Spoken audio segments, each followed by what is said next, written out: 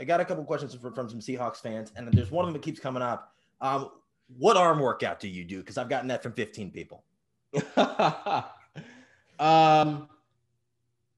I, I, I do the same arm workout as everybody else. I just started early.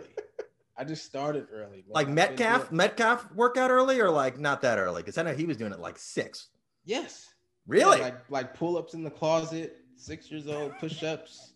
You want Legos? Nah, give me an armbar and we're good to go. Let's do it. Yeah, man. You just started I started early and I was just buff. I just was just always like even in elementary school, I had like big biceps. That's wild.